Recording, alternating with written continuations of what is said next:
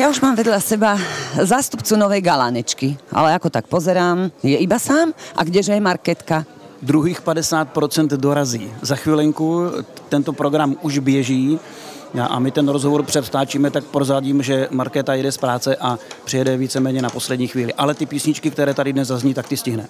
Takže tá krajšia polovička vlastne ešte len príde.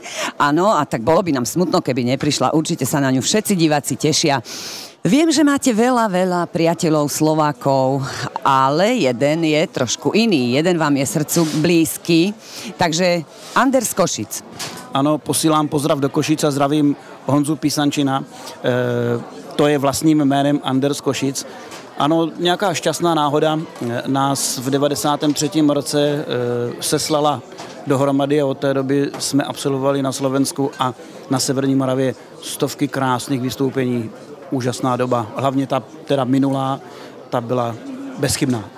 Láska k hudbe. To je to, čo nás tu všetkých spája, preto sme tu, preto sa stále stretávame, spoznávame. A ako to bolo s tebou? E, od malička. Bolo to také, že tvoje rozhodnutie, alebo ťa niekto tak troška nasmeroval? Ne, ne, ne, nebylo to vůbec moje rozhodnutí. Moje babička byla ředitelkou mateřské školky a když už byla v důchodě a já jsem tam k ní přijel, tak jsem stával strašně brzo. A měla puštěný rádio, ale já jsem v té době poslouchal hodně vážnou hudbu, což nevím, kde se to ve mně vzalo. A tak si toho všimla, že mě to nějakým způsobem zajímá, tak apelovala na moje tátu, říkala, dej ho do hudebky, já si myslím, že by možná ho mohla muzika zajímat.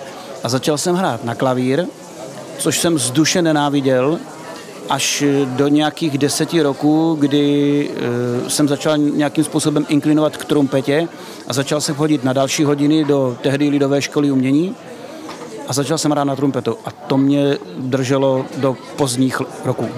Ako si spomínaš na e, vašu návštevu Spojených Arabských Emirátov? Kedy to bolo a čo? Niečo nám o tom prezrať, to je také exotické, to bude určite našich divákov veľmi zaujímať.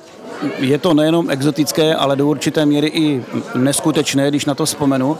Já mám pocit, že to bylo v roce 99, takže už je to poměrně hodně dlouho. A ve středu v jednom týdnu, bylo to v Dubnu, to si pamatuju, mě zazvonil telefon, že by bylo potřeba sehnat někoho, kdo by doprovodil neoficiální výstavu České republiky e, ve Spojených Arabských Emirátech. A já jsem si s tím na začátku neviděl rady, vůbec jsem neviděl, koho oslovím, komu řeknu.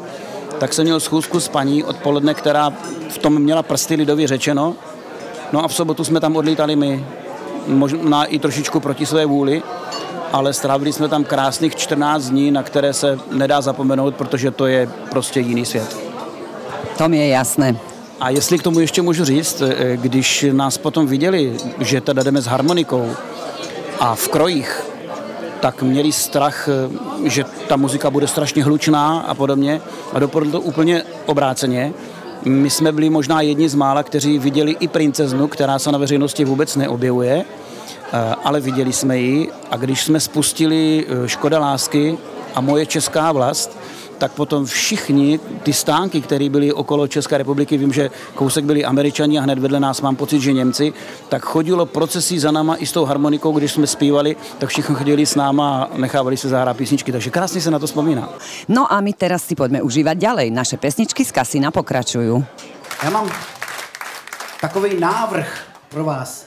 Měli byste chuť si zaspívat s náma jednu písničku z Moravy? Opravdu? A i dvě, že? Řekl jsem jednu. Ty, ty jsi špatný obchodník, opravdu. Jednu.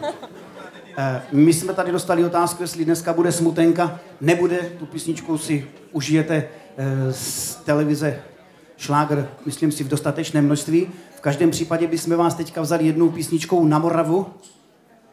To je písnička, ke které nemáme hudební základ, protože tomu se říká, že to je takzvaně táhlice, takže bychom si udali tak jen tak sami pro sebe. My vám vždycky kousek zaspíváme a vy to po nás zopakujete. Jste pro? Ano? Tak za tu horu, za vysokou může být?